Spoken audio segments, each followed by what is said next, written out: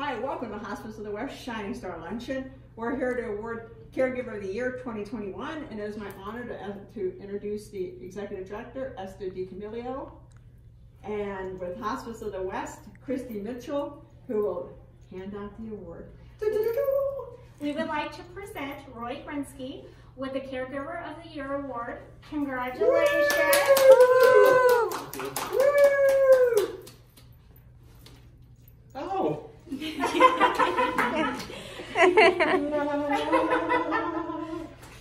Congratulations so cool. on behalf of Arizona ALFA and Hospice of the West.